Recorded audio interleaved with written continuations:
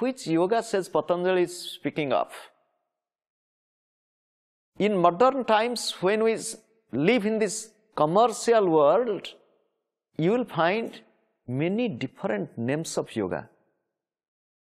Many different names of yoga. Even people coin and frame new names of yoga. Every few months, a new name of yoga is coming out. Who is making it? For whom they are making?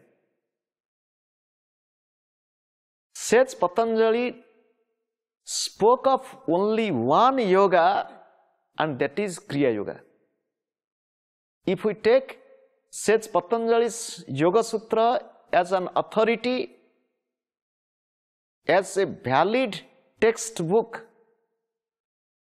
the most prominent scripture on yoga, he is speaking of no other yoga. You will go through and he is speaking only of Kriya Yoga and the entire Yoga Sutra is the Yoga Sutra on Kriya Yoga, it is not just yoga.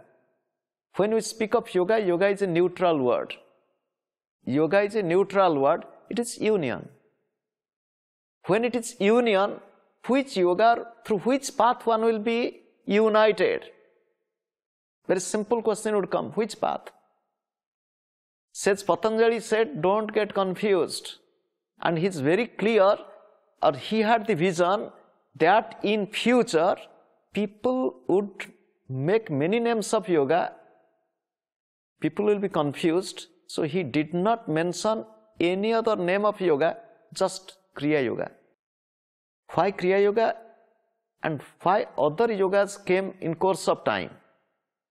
Just like we know Bhakti Yoga, we know Jnana Yoga, we know Karma Yoga, we know Hatha Yoga. Why all these things came up? Kriya Yoga itself is a complete yoga.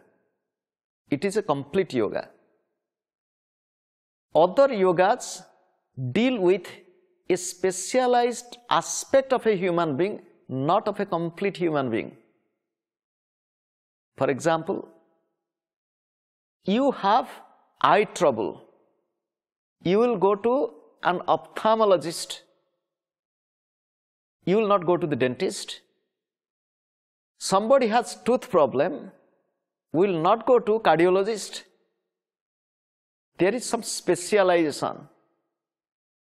In human life or in medical science, for example, in a particular branch of science, there is so much of specialization, super specialization, so what happened in course of time, human evolution, there is some specialized yoga or some special yoga which deal with only one aspect of human being, not the complete aspect of human being in total.